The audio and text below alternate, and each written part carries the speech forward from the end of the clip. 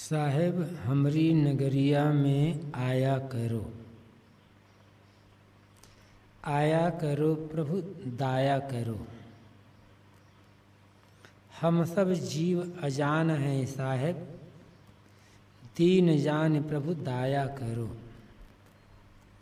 हम सब दीन गरीब जीव को विमल रूप दर्शाया करो। जो कुछ भूल चूक हो हमसे अज्ञान चित में न धरो। काल संधि औझाई कल्पना, सो प्रभु जी परखाया करो। निर्मल दास, प्रभु प्रेम न छूटे, दिन दिन भक्ति बढ़ाया करो।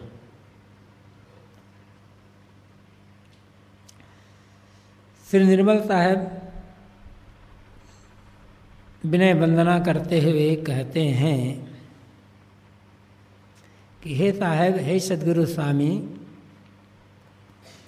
आप हमारी नगरी में, हमारे गाँव में आते रहिए। और बारंबार आपसे विनय है कि आप निश्चित रूप से आते रहें, हम पर दया करते रहें।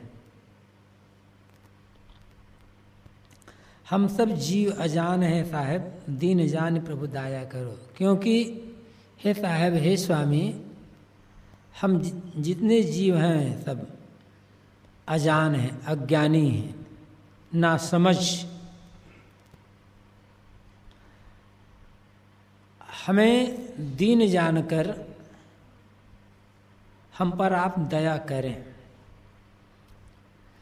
विषय कामना के अधीन होकर हर जीव दीन बन गया। दीन से मतलब लाचार, बेसहारा।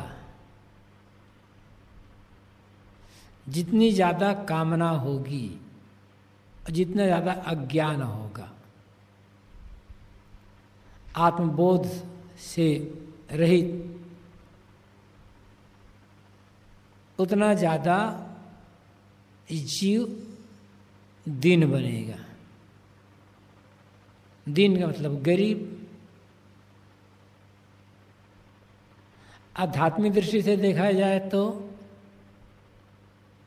धनी, गरीब, पढ़, अपर सब दीन है, क्योंकि विषय कामनाओं के अधीन है। आत्मबोध से रहित। तो निर्मल साहब कहते हैं कि, हे साहब, हे गुरुदेव, हम सब अजान हैं, अज्ञानी ना समझ हैं। और आत्मबोध से रहित विषय कामना के अधीन हो, बने। अत्यंत दीन बन गए हैं, लाचार। हमें ऐसा दीन दरिद्र जानकर आप हम पर दया करें, कृपा करते रहें। हम सब दीन गरीब जीव को विमल रूप दर्शाया करो। हम सब गरीब हैं, दीन, आत्मशांत, विवेक विचार से रहित। संयम साधना से रहित, दरिद्र, दीन। इसलिए आप हमारी नगरी में आकर हम पधार कर विमल रूप दर्शाया करो। हमें अपना आत्मबोध देकर, ज्ञानोपदेश देकर, हमारे जो, हमारा जो निर्मल आत्मस्वरूप है, उसका बोध हमें देते रहें बताते रहें।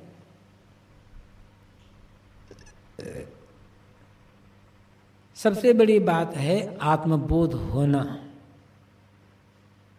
उसके अभाव में बाहर भीतर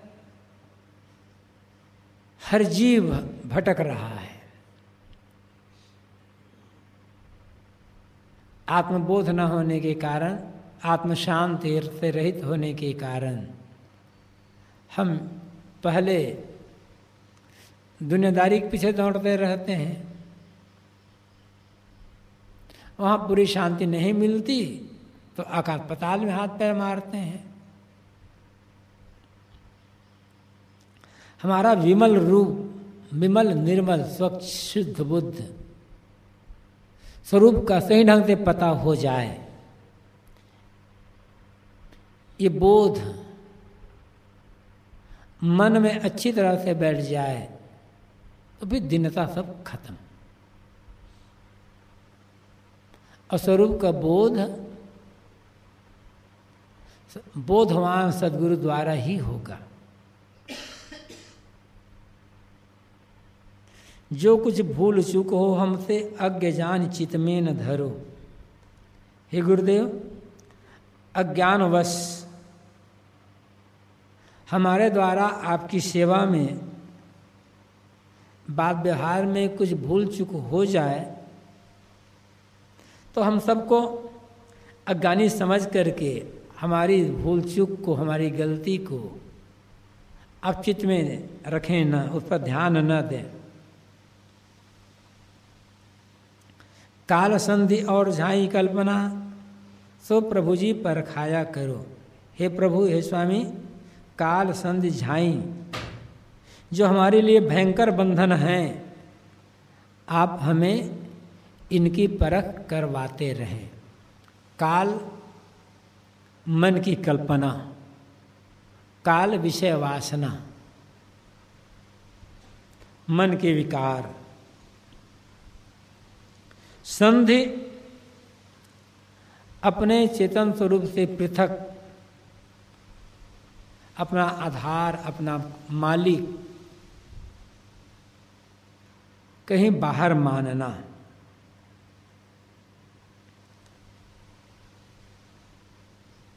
जड़ वस्तुओं में सुख खोजना, जड़ वस्तुओं सुख का आधार मानना, या मन की जो मान्यताएँ हैं, उनको सुख का आधार मानना। हमारा रखवाला, हमारा मालिक, हमारा प्रेरक हमारा मोक्षदाता हमसे अलग। यह मानना संधि है।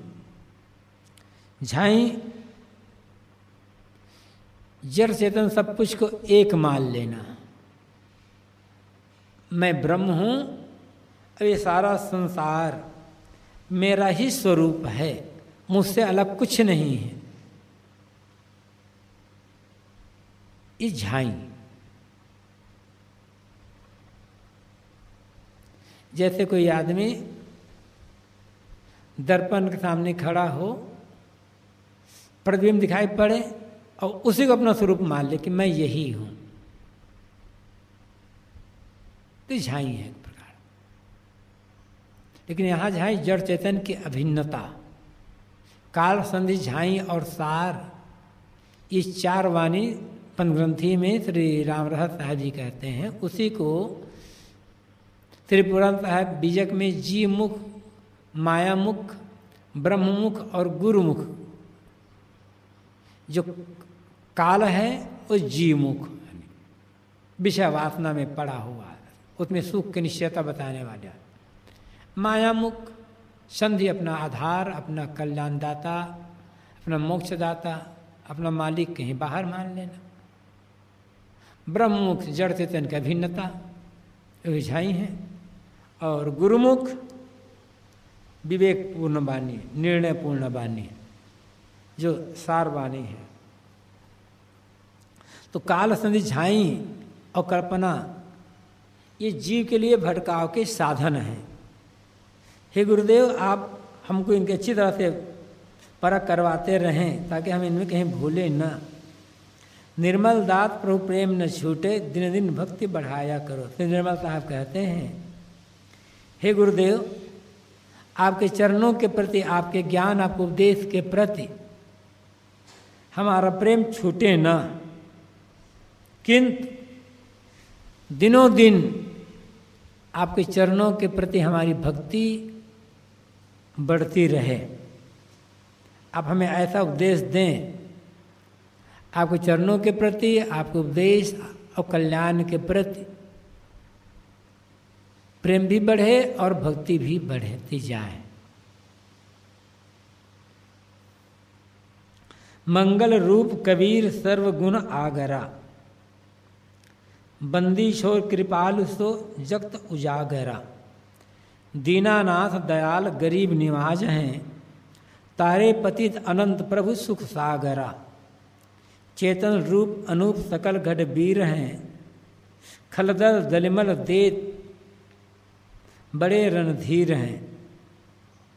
साहेब स्वतः प्रकाश भात सब मेटी हैं। जन्म मरण मिट जाए ताही जो भेंटी हैं। कृपा सिंधु गुरुदेव पधारा जगत में। आप सरिस कर ले कृपा करी भक्त के। काशी में भय प्रगट जगत सब जानता। निर्मल दास मतिमंद नहीं पहचानता।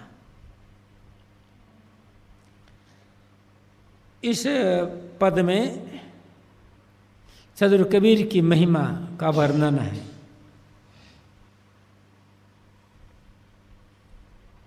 मंगल रूप कबीर सर्वगुण आगरा। सदगुरु कबीर कहते हैं? मंगल रूप। मंगल रूप कृतार्थ रूप, कल्याण रूप। मंगल मतलब कल्याण। मंगल, आनंद मंगल भी हम कहते हैं। प्रसन्नता। सब मंगल है मतलब सब कुछ बहुत बढ़िया है, सुंदर है। तो मंगल रूप सदगुरु कबीर कहते हैं, कल्याण रूप है, कृतार्थ रूप। सर्वगुण आगरा और सभी गुणों में आगर, आगरा, भंडार, खानी, श्रेष्ठ, निपुण। जितने भी सद्गुण हैं, उन सभी सद्गुण में सदगुरु कबीर निपुण है और निपुण ही नहीं हैं, उनके भंडार हैं। खानी है। बंदी छोर कृपालु सो जग जानता। और ये पूरा संसार में प्रसिद्ध है ये बात कि सदगुरु कबीर कहते हैं बंदी छोर है। बंदी छोर बंधनों को छुड़ाने वाले कृपालु। बोध देकर शरण में लगाकर प्रेरणा दे करके जीवों के बंधनों को छुड़ाने वाले कृपालु हैं। जगत जगत उजागरा उजागरा प्रसिद्ध, ये संसार में बात प्रसिद्ध है। दीनानाथ दयाल गरीब निवाज है। तारे पतित अनंत प्रभु सुख सागरा और कैसे हैं? दीनानाथ। दिनों के नाथ। जिनका कहीं कोई सहारा नहीं है। लाचार। अबोधवश, अविद्यावश विषयाशक्तिवश कामनावश, जीव अनाथ बन गए। तो अबोधवश, कामनावश जो लोग दिन बने हैं उनके नाथ, उनके स्वामी। दयाल, दयालु, गरीब निवाज निवास का अर्थ ये कृपा करने वाला। गरीब निवास गरीबों पर कृपा करने वाला। और सुख सागरा, सुख सागर हैं। उन्होंने क्या किया तारे पतित अनंत प्रभु। उस प्रभु ने सदगुरु कबीर ने सत्योपदेश दे करके, सच्चा आत्मबोध पारा ज्ञान दे करके असंख्य पतितों का उद्धार कर दिया है।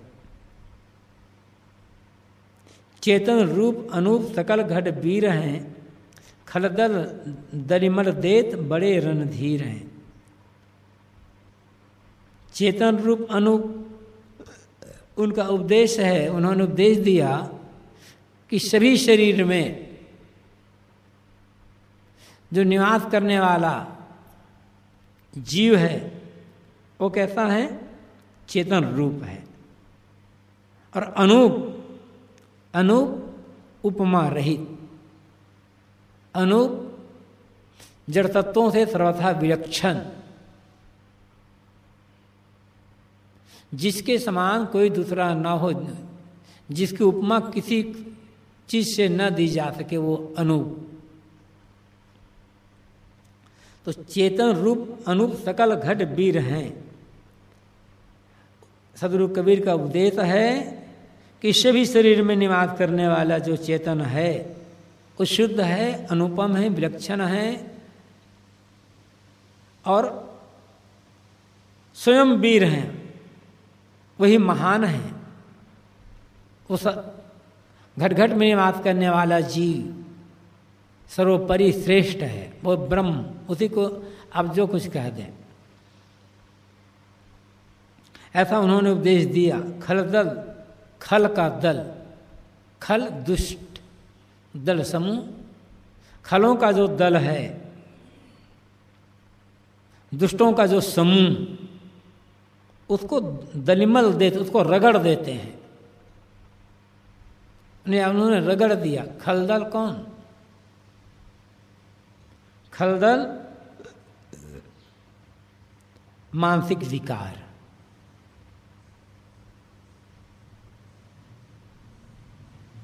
हर जी किससे रगड़े जा,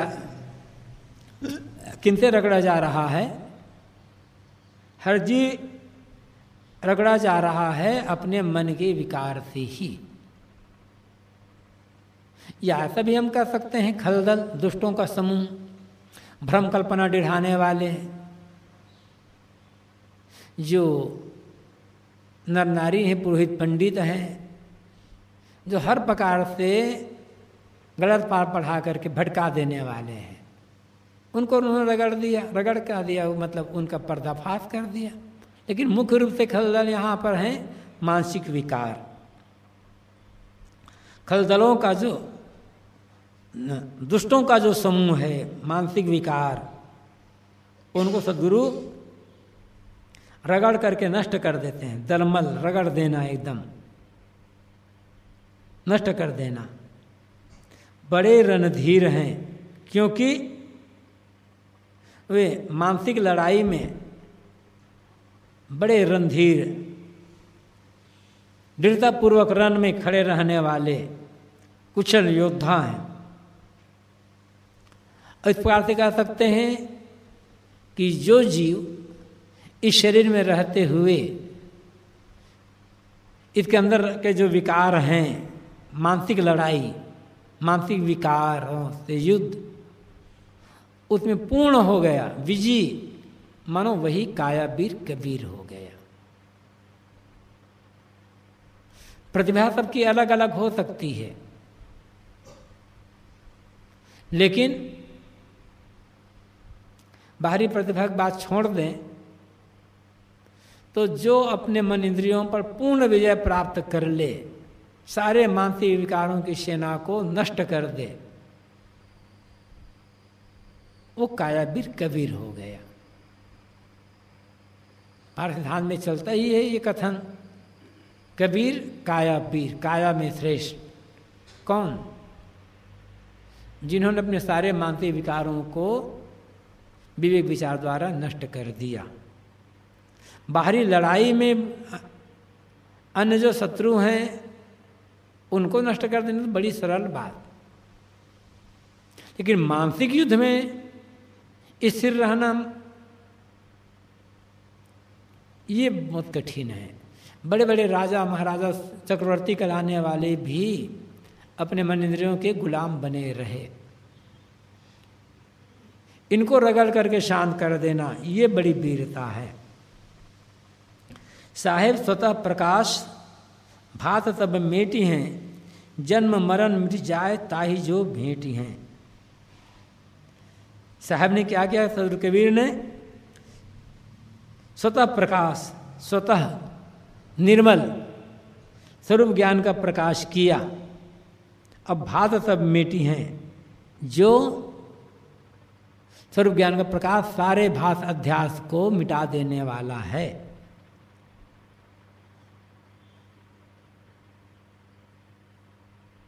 कबीर साहब की विशेषता स्वरूप ज्ञान में है। भ्रम कल्पना निश्वास की बात तो है, लेकिन उनकी विशेषता है स्वरूप ज्ञान का बोध देने में।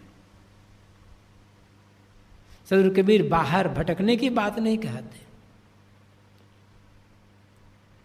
अध्यात्म क्षेत्र में एक बड़ी कमज़ोरी, बड़े बड़े ज्ञानी हैं, विद्वान हैं, तपस्वी हैं, साधक हैं, बैरागी हैं, इनकी कमी नहीं है।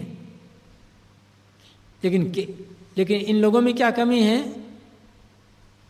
वो पुकारते हैं वह और वहाँ की बात क्यों खो चक्कर में पड़े हैं। वह मतलब हमसे अलग कोई है, वो हमारा लक्ष्य है। उसमें हमें मिलना है, उसको हमें पाना है। और वहाँ मतलब आकाश पताल में, मुक्ति का धाम कहीं अलग। शास्त्रों में सही बात भी कही गई है, लेकिन उसकी चर्चा कम लोग करते हैं। ज़्यादातर तो लोग वह और वहाँ की चर्चा करते हैं। कबीर साहब कहते हैं, मैं और यहाँ या या तुम या यहाँ मैं आत्मबोध। और यहाँ इसी इसी शरीर में रहकर इसे कर। इसी दुनिया में अन्य संतों में और कबीर साहब में ये फ़र्क है। अन्य बहुत सारे संत वह और वहाँ की बात कहते हैं। और कबीर साहब, मैं और यहाँ की बात कहते हैं।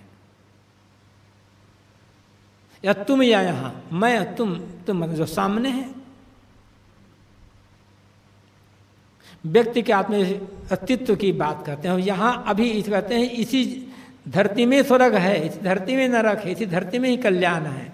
इसकी बात कहते हैं। इसलिए उन्होंने क्या किया? साहब स्वतः प्रकाश। सदुर कबीर ने स्वतः निर्मल ज्ञान का प्रकाशन किया, उद्घाटन किया। और भाष सब मेटी हैं। उन्होंने अपने स्वरूप ज्ञान का भा का उपदेश दे करके सारे भाष अध्यास को मिटा दिया। जन्म मरण मिट जाए, जाहि, ताही जो भेटी हैं। जो कोई जिज्ञास, जो साधक, मनुष्य, उनके जो स्वरूप बोध है, आत्मज्ञान, निर्भ्रांत आत्मज्ञान उसको जो मुलाकात कर लेगा, उसे मुलाकात करने मतलब उसको ग्रहण कर लेगा। जन्म मरण मिट जाए, उसके जन्म मरण के चक्कर समाप्त हो जाएगा। स्वरूप कबीर का निर्मल स्वरूप बोध मिला, स्वरूप ज्ञान मिला, सारे भाष अध्यास नष्ट। सदर कबीर भात अध्यात्म नष्ट करने वाले हैं। जो उसको ग्रहण कर ले स्वरूप ज्ञान को, उसका जन्म मरण चक्कर समाप्त। कृपा सिंधु गुरुदेव पधारा जगत में। कृपा सिंधु, कृपा के सागर गुरुदेव कबीर जगत में पधारे। और आप शरीर कर ले कृपा करी भक्त के। और भक्तों पर कृपा करके, उन्हें मोहशोक से मुक्त करके, उनका ज्ञान का बंधन छुड़ा करके, उन्होंने उसे सभी जीवों को अपने समान बना लिया, सुख स्वरूप बना लिया। अब यहाँ पर ताकि कृपा सिंधु गुरुदेव पधारा जगत में, कृपा सिंधु गुरुदेव कबीर संसार में पधारे। एक प्रकार से मान अवतार लेकर के आए। ये अवतारवाद की तरफ़ की धारणा, लेकिन श्री निर्मलता है, ये बात नहीं मानते कहने का लहजा उनका है। सदुर कबीर स्वयं ही इस चमत्कार बात के विरोधी हैं। लेकिन लेकिन कैरपंथ में ये चमत्कार बात खूब लदा हुआ है, सर्वत्र। एक पारक समाज को छोड़ करके सब जगह ये अलौकिकता छाई हुई है। इसी अगली पंक्ति में भी कहा गया है। काशी में भय प्रगट, जगत सब जानता। संसार में सब लोग जानते हैं कि सदर कबीर काशी में प्रकट हुए। जन्म नहीं लिए प्रकट हुए। ये चमत्कार है अंधविश्वास की बात। ये, लेकिन श्री निर्मल साहब के कहने का तरीका है, वो वो नहीं मानते कि कबीर साहब ज्योति रूप में आकर के प्रकट हो गए। वैसे प्रकट तो हर जीव होता है। जितने जीव सब प्रकट होते हैं। माँ के गर्भ में हैं तो छिपे हुए हैं जन्म लिए तो प्रकट हो गए सब। तो कृपा सिंधु गुरुदेव कबीर इस संसार में पधारे और कृपा करके उपदेश दे, दे करके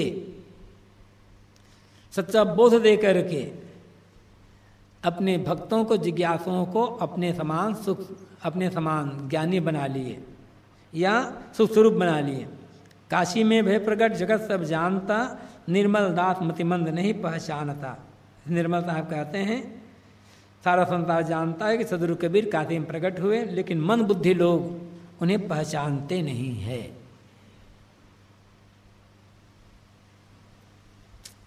अब आप लोग सावधान हो जाओ। श्री निर्मल साहब भंडारा कर रहे हैं। श्री निर्मल साहब का भंडारा शुरू हो रहा है। सब संतन को नेवती बोलाई, चाहते चरण पखारी जी। सेवक चतुर लेत चरणोदक, अचल करत भंडारी अचल करत भयहारी जी। शील सिंहासन धारी बिछाई, चित का चमर बयारी जी। प्रेम प्रसाद प्रीति पनवारा, स्थिरता सार समारी जी।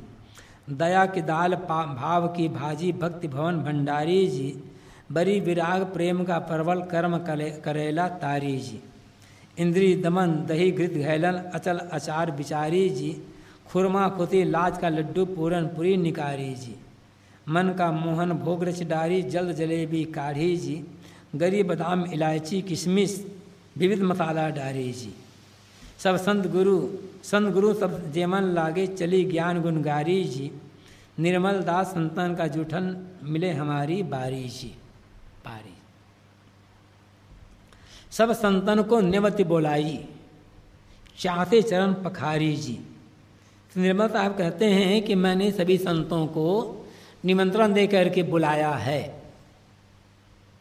और जब वे पधारे, जब वे आए तो चाह से चाह प्रसन्नता उत्साह पूर्वक बड़े उत्साह के साथ उनके चरणों को धोया गया। मैंने या मैंने उनके चरणों को धोया उन, उनके चरणों को पखारा। सेवक चतुर लेत चरणों तक और जो चतुर सेवक हैं कुशल सेवक हैं भक्त हैं वे सब उन संतों का चरणोदक ले रहे हैं। अचल करत भयहारी जी ये जो भक्ति है संतों प्रति प्रेम निष्ठा भक्त भक्तों को भय रहित कर देते हैं और अचल। संतों प्रति प्रेम भक्ति ये भक्ति में चल कर देने वाली है, है और जीवों के भय को हरण करने कर लेने वाली है। शील सिंहासन डारी बिछाई चित्का चमर बयारी जी। संतों को बैठाया गया।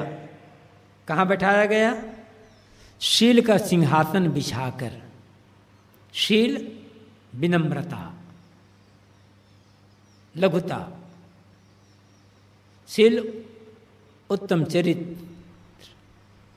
तो विनम्रता, लघुता, उज्जवल चरित्र का सिंहासन फैला करके संतों को बैठाया गया। और चित्त का चंवर बयारी जी, और चित्त के चंवर से हवा करने लगा। पंखा करने लगा, चित्त के चंवर मतलब पंखा, ऐसे चंवर चित्र में प्राय देखा जाता है, कोई चित्र है, कोई राजा बैठे हैं या कोई भगवान बैठा हुआ है, लोग हाथ में से लेकर के बालों गुच्छा तरीके चमर डुलाते रहते हैं। ये कहते हैं कि ये चंवर सुरा गाय की पूंछ के बालों का एक गुच्छा होता है। एक प्रकार की गाय, उसके बालों गुच्छा जो बहुत मुलायम, उसका चमर है। कुल मिलाकर अर्थ है कि जब संत बैठ गए, तब उनके पास खड़े होकर के उन्हें पंखा किया जा रहा हवा किया जा रहा है। प्रेम प्रसाद, प्रीति पनवारा, स्थिरता थार समारी जी अब भोजन करने समय आया तब प्रेम का प्रसाद प्रसाद भात। महाप्रसाद जिसे कहते हैं, जूठन को वैसे। तो प्रेम का प्रसाद, प्रेम का भात और प्रीति पनवारा, प्रीति का पनवार, प्रीति का पनवार पत्तल, थाल। तो प्रीति प्रीति का अर्थ भी प्रेम ही है लेकिन प्रीत, समर्पण,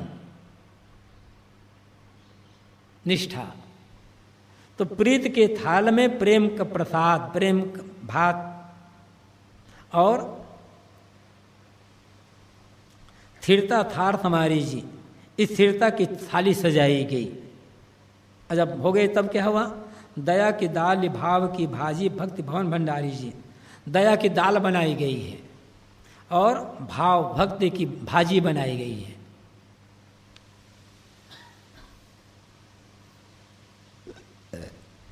भक्ति भवन भंडारी जी, और इन सबको बनाने वाला कौन?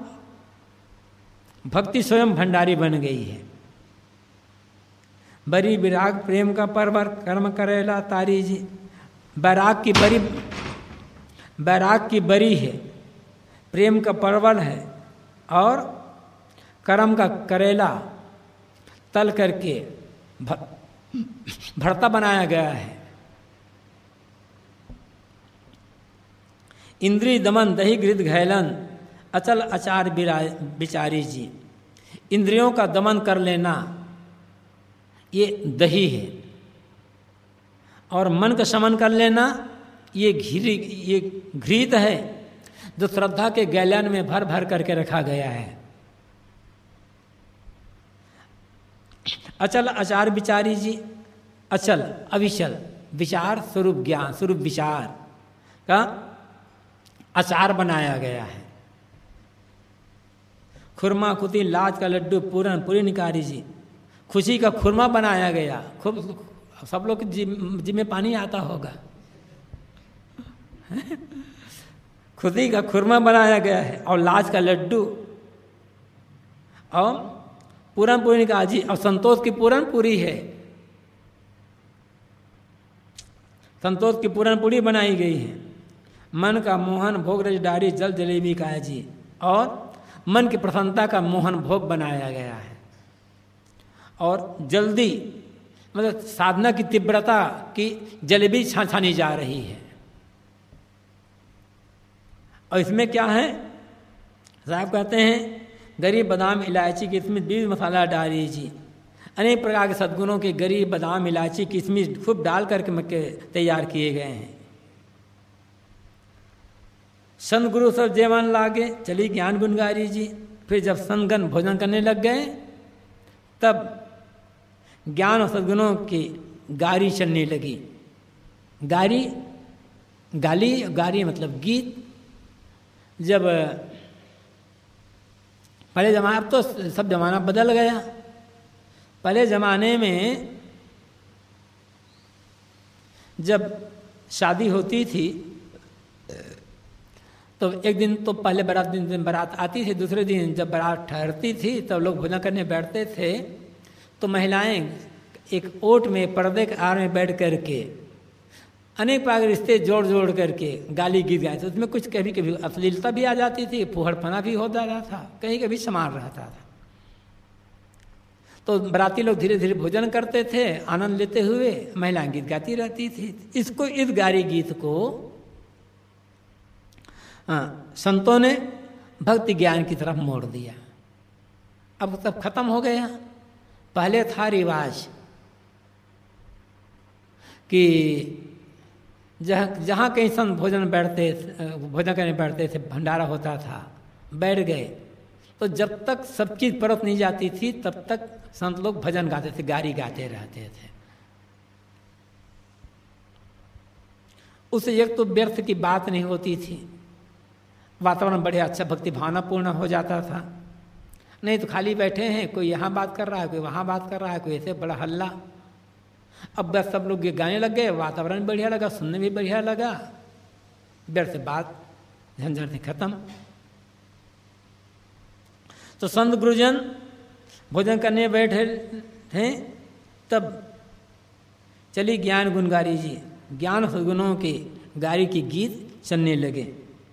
निर्मल दास संतन गुरुठन मिले हमारी बाजी। से निर्मल साहब बड़ी भक्ति भावना के साथ कहते हैं, जब सभी संत गुरुजन भोजन कर लेंगे तो उनका जो जूठन बचा होगा वो हमारे भाग्य में आएगा। उसे खा करके हम तृप्त हो जाएँगे। ये हमारा भाग्य होगा हमें संतों का जूठन मिले। कितनी विनम्रता है साहब। एक और तो महा उग्र भयंकर तर ता, तार्किक साथ करने में बड़े निपुण। और जब तर्क चलता है आगे इनका तर्क आया है तो ऐसा ऐसा तर्क है सुनने वाला तो तिल मिला जाए। लेकिन दूसरी तरफ़, कितने विनम्र, कितने भक्ति भावना वाले। प्रतिभा थी, बल था।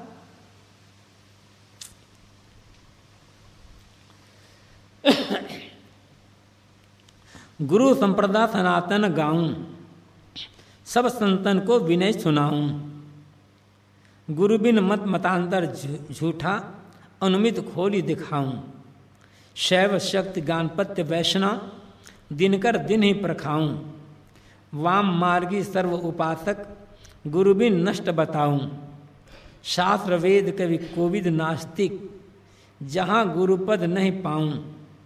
गुरु की करूँ आरती पूजा, घंटा शंख बजाऊं। धूप दीप नैवेद्य आरती, गुरु का भोग लगाऊँ। ब्रह्म जीव की दुविधा कल्पना ब्रह्म जीव की द्विध कल्पना, कल्पित भर्म मिटाऊं, निर्मल दास का संशय नाश्यो, ताते गुरुपद ध्यान गुरु संप्रदा सनातन गाऊं, सब संतन को विनय सुनाऊं। तो निर्मल साहब कहते हैं, मैं ये गाता हूँ कि गुरु संप्रदा सनातन है। सब समय, सब संतन को विनय सुनाऊँ, मैं सब संतों को विनय सुना करके कह रहा हूँ। सब संतों के प्रति मेरे, मेरी विनय भावना है कि गुरु संप्रदाय जो है, सनातन है। अनेक मत पंथ दुनिया में है, संप्रदाय। कोई कुछ मानता है, कोई कुछ मानता है, कोई कुछ मानता है। लेकिन गुरु की पूजा गुरु का महत्व सभी संप्रदायों में है। कोई ऐसा संप्रदाय नहीं है जहाँ गुरु का महत्व न बताया जाता हो। तीसरे देखेंगे तो गुरु संप्रदाय सनातन है। अन्य जो संप्रदाय है, सनातन कोई नहीं है। आज जितने मत पंथ चल रहे हैं, इनमें से सनातन कौन है? सब किसी काल में बने हैं। तो दुनिया तो अनादि है। पहले इस, आज इतने मत पंथ हैं उनके पहले कोई और मत पंथ रहा होगा? तो क्या उन मत मत पंथों में गुरु की महिमा न रही होगी? बिना गुरु के किसी ज्ञान हुआ होगा? तो यदि कोई है तो गुरु संप्रदाय गुरु मानने का संप्रदाय गुरु की पूजा गुरु की भक्ति ये सनातन है।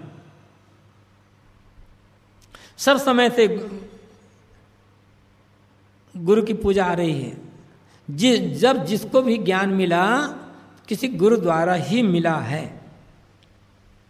वेद मंत्र बने।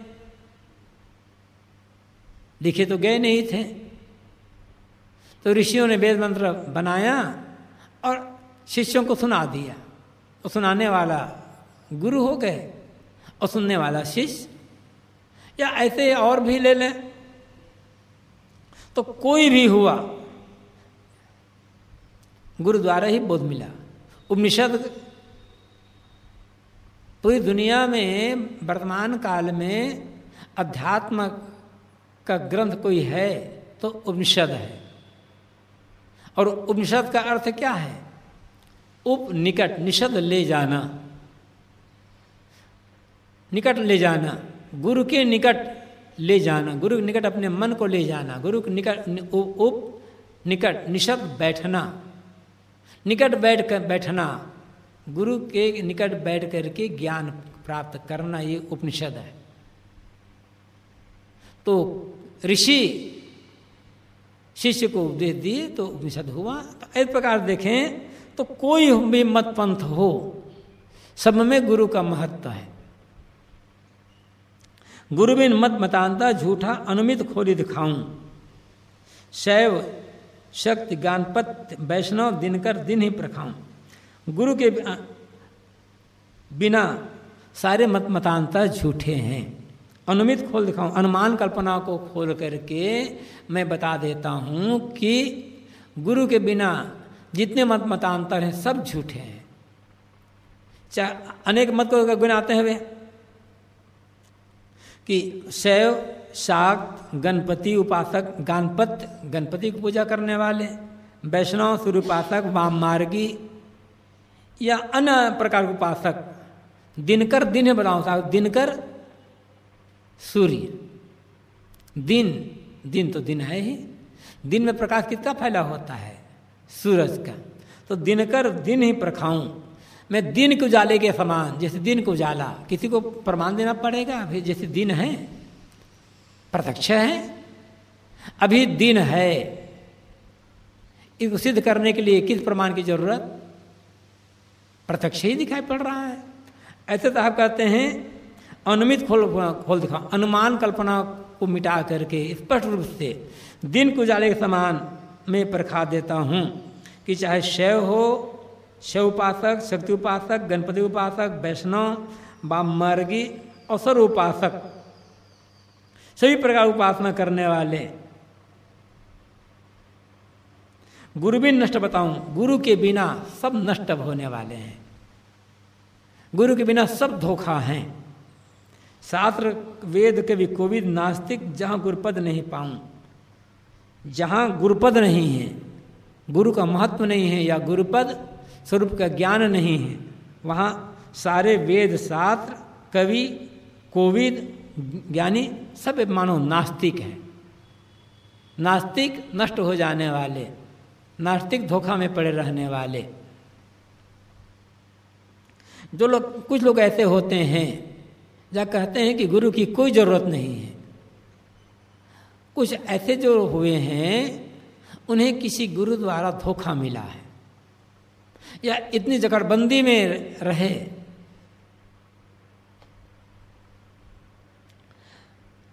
कि उनको स्वतंत्र से चिंतन करने का अवसर मिला नहीं, तब तो गुरु के घोर विरोधी हो गए। लेकिन उनको जो ज्ञान मिला, वो भी किसी गुरु द्वारा ही मिला। तो जो लोग ये कहते हैं कि गुरु द्वारा गुरु की कोई ज़रूरत नहीं है, भटके हुए लोग हैं। श्री निर्मला का साहब कहते हैं, वो नास्तिक लोग हैं, धोखे जो तो धोखा में रखने वाले लोग हैं। अरे गुरु न मिले होते तो कखा गुखा बोलना भी न आता। जो कुछ हमें मिला है कि हमने स्वयं ही उत्पन्न कर लिया। समाज है, वातावरण है। कहीं ना कहीं से हम जो कुछ जानते हैं, कहीं ना कहीं से सीखे हैं हम। तो जहाँ गुरुपद नहीं पाऊँ जहाँ गुरुपद मुझे नहीं मिलता है। गुरु की भक्ति नहीं मिलती, गुरुपद शुभ स्थिति का ज्ञान नहीं मिलता। तो साहब कहते हैं, सब नास्तिक के समान हैं और सब नष्ट हो जाने वाले, धोखा में पड़ रहने वाले हैं। गुरु की करूँ आरती पूजा, घंटा संग बजाऊं, धूप दीप नैवेद्य आरती, गुरु का भोग लगाऊँ, मैं गुरु की पूजा कर, करूँगा। उनकी आरती संखा घंटा संग बजा करके, गुरु की आरती पूजा करना है, धूप दीप नैवेद्य लेकर के, गुरु को भोग लगाना है। ब्रह्म जीव की द्विध कल्पना, कल्पित भर्म मिटाऊं निर्मल दास का संशय नाशो ताते गुरु पर ध्यान। ब्रह्म और जीव की दो प्रकार की कल्पना है।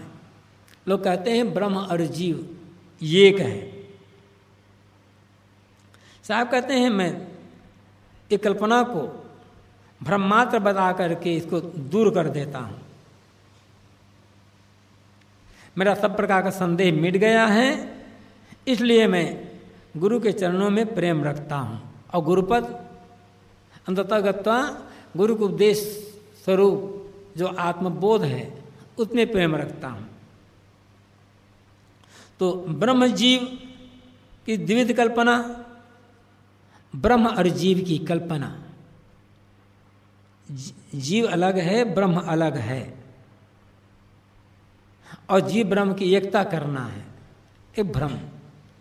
लोग कहते हैं कि जीव और ब्रह्म की एकता कैसे हो? तो पहले ये समझना है, जीव और ब्रह्म यदि अलग अलग है तो एकता करने वाले हम कौन होते हैं? और दोनों अलग अलग है तो उनके एक, दोनों की एकता कैसे हो सकती है? मिट्टी और पानी अलग अलग हैं। तो ये करना है तो मिट्टी को पानी में घोल दिया। मिट्टी घुल गई। कहते हैं, देखो, मिट्टी, पानी दोनों एक हो गए। तो देखने भर के लिए एक हो गए हैं। हाँ घोलना बंद कर दो, क्रिया बंद कर दो।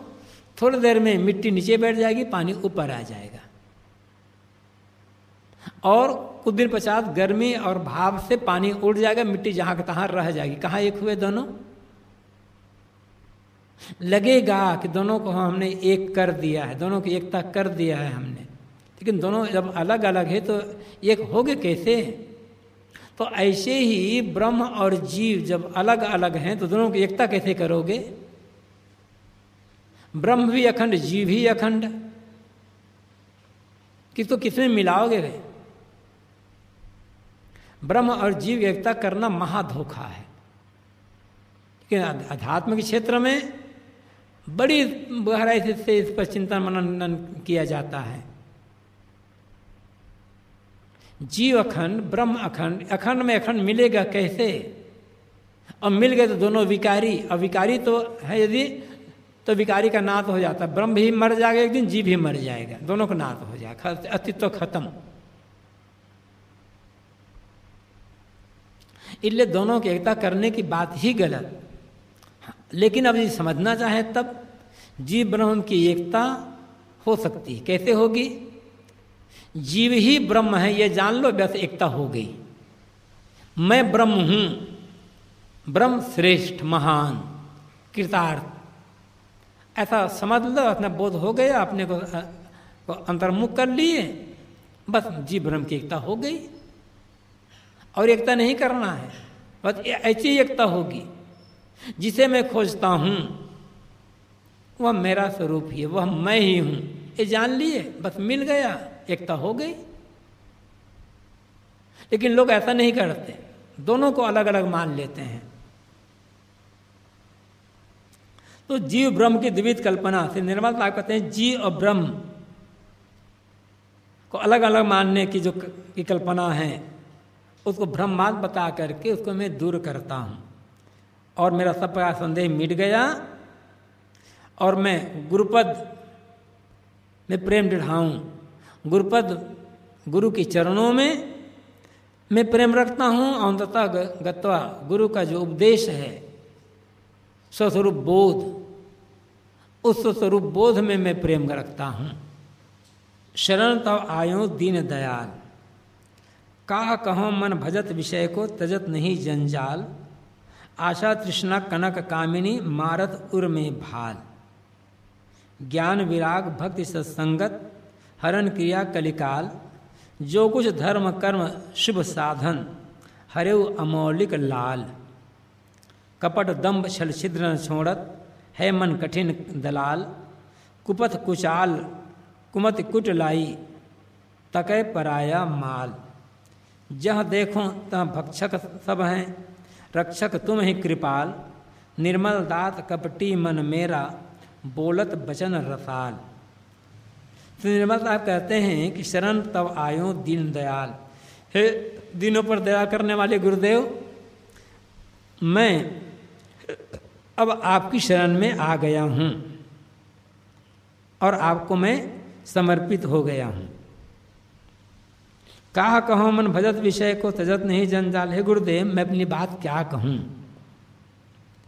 ये मेरा मन भजत विषय को रात दिन विधियों का ही भजन करता रहता है। भजन करना, चिंतन करना, स्मरण करना, याद करना, उसके बारे में सोचते रहना। ये सामान्य आदमी का अनुभव है। सामान्य आदमी क्या? साधक का भी मन तो भटक जाता है, साधक भी तो आदमी है, अनादिकाल से उसके मन में भी तो विषय चिंतन है, उसी का अभ्यास है। तो साधक जिज्ञास गुरु के सामने निवेदन करता है कि, हे गुरुदेव, मैं अपनी बात क्या कहूँ? ये मेरा मन रात दिन विषयों का भजन करता रहता है, विषयों का चिंतन स्मरण करता रहता है, उसी में डूबा रहता है। तजत नहीं जंजाल। यह मन जंजाल को छोड़ता नहीं है। भोग तरफ़ भोगों तरफ़ दौड़ने का काम नहीं छोड़ता। इसकी प्रवृत्ति बार बार भोगों तरफ़ दौड़ने की है। इस इस जंजाल को ये मन छोड़ने को जल्दी तैयार नहीं है। चाहता हूँ ना, उधर ना जाऊँ लेकिन मन घुमा घुमा करके मुझे उसी तरफ़ ले जाता है। आशा तृष्णा कनक कामनी, मारत उर में भाल। और आशा तृष्णा, किसके? कनक कामनी। के भोगों की जो आशा तृष्णा है, उसका भाला, ये मन हृदय में बार बार मारता रहता है। मतलब कनक कामनी की आशा तृष्णा डुबाता रहता है। अधिक धन मिल जाए संसार के भोगों को भोग लूँ, विषय का आनंद ले लूँ। ये इच्छा उड़ते रहना मन में। मानो यही भाला मारते रहना है। कभी धन का लोभ हो गया, कभी भोग का लोभ हो गया। कनक और कामनी, धन का लोभ और काम वासना, कहीं भी पाप हो रहा है, इसके मूल में ये दो है। या तो धन का लोभ है या काम वासना है। सारे अनर्थों के मूल में यही है और सारी समस्याओं की जड़ में यही है। धन का लोभ और काम की वासना मिट जाए तो दुनिया आस्वर्ग बन जाए। तो आशा तृष्णा कनक कामनी मारत उर्मे भाल। ये मन आशा तृष्णा, कनक कामनी के भोगों के आशा तृष्णा के भाले मेरे हृदय में बार बार हमें मारता रहता है। ज्ञान विराग भक्ति सत्संगत हरण किया कलिकाल। ये कलिकाल ये कली, पापी मन। इसने मेरे ज्ञान विराग भक्ति सत्संगत सब कुछ छीन लिया है। जो कुछ धर्म, कर्म, शुभ साधन, हरे अमौलिक लाल, जो कुछ भी मैंने, कुछ धर्म, कर्म किया था सेवा भक्ति परोपकार का काम किया था शुभ साधन किया था। उन अमौलिक, अमूल रत्नों को इस मन ने हर लिया लूट लिया है। ये ऐसा काल बन करके मेरे पीछे पड़ा हुआ है। जहाँ मन भोगों तरफ़ दौड़ने लगा, उनमें सुख की निश्चयता करने लगा, वहाँ हमारा ज्ञान, ध्यान, भक्ति, विराग, धर्म, कर्म सब लूट गए, नष्ट हो गए। और मन बार बार ऐसा करता रहता है।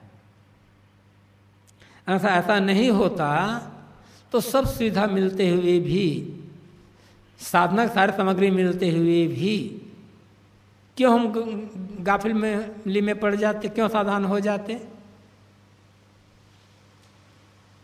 कपट दम्भ छल छिद्र छोड़त है मन कठिन दलाल। ये मन बड़ा कठिन दलाल है।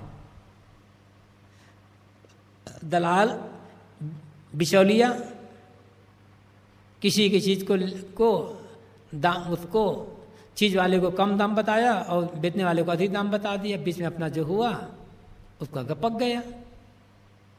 तो ये मन भयंकर कुटिल है, भयं दलाली लेने वाला है। ये कपट दम्भ दिखावा, छल, छिद्र, ये छोड़ता नहीं है। कुपथ ये बुरे मार्ग में जाना चाहता है। कुचाल, गलत आचरण ही करना चाहता है। कुमत कुटलाई, इस, इसमें भयंकर कुबुद्धि और कुटिलता भरी हुई है। तके पराया माल दूसरे के माल को ताकता रहता है। दूसरे के धन को, दूसरे पराई बहु बेटी के तरफ़ ही इसकी दौड़ लगी रहती है। विजाति वस्तुओं के प्रति।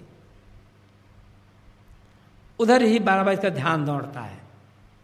तके पराया माल पराया माल को ताकना अदृष्टि से कहें तब, अपना जो स्वरूप भाव है, उसको छोड़ करके कहीं मन का दौड़ना, पराये माल को को ताकना है। क्योंकि अपना स्वरूप भाव छोड़कर दुनिया का सब जो कुछ है, सब पराया ही तो है।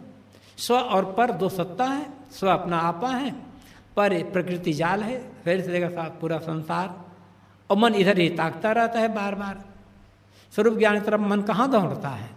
स्वरूप ज्ञान में मन स्थिर कहाँ होता है?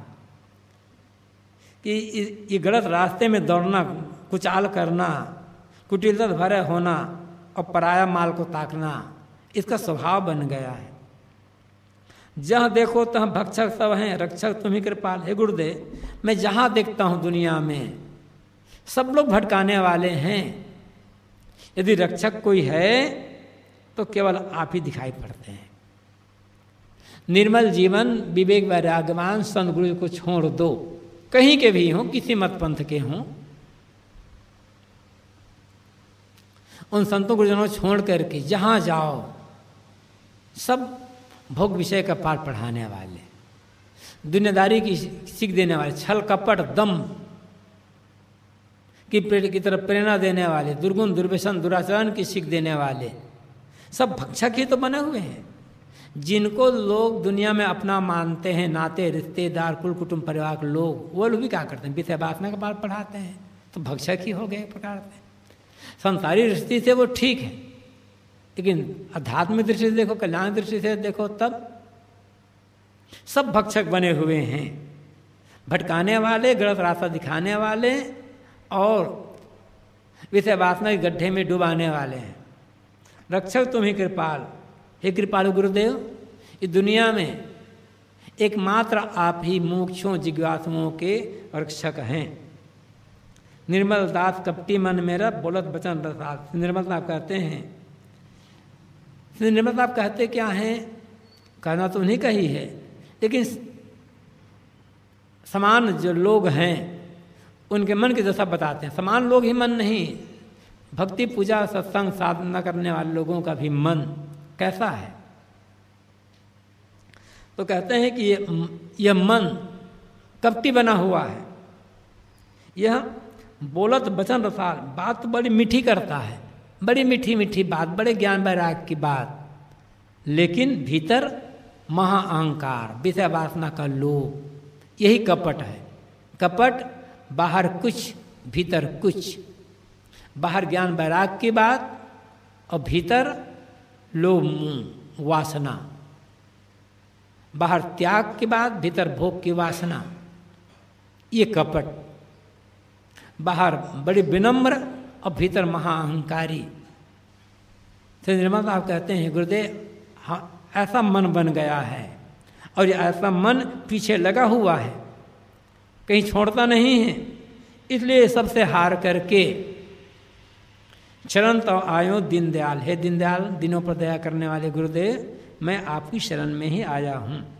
आपको शरण छोड़ करके मेरा और कहीं कोई उद्धार नहीं है। जो भी साधक हैं, कल्याण चाहने वाले, उनके लिए एकमात्र आश्रय स्थल है तो विवेक वैरागवान संत गुरुजन, अपने मन का अहंकार में पढ़ करके हम कहाँ से कहाँ भटक जाएँगे? कोई ठिकाना नहीं है। लेकिन मन भटकाता है। और मन भटक चक्कर में पड़ करके एक बार नाचे बस फिर नाचना शुरू हो हो गया। ज़िंदगी भर नाचता पड़ता रह जाने का। एकमात्र रक्षक, एकमात्र आश्रय स्थल विवेक वैरागवान संयोजनों की शरण है।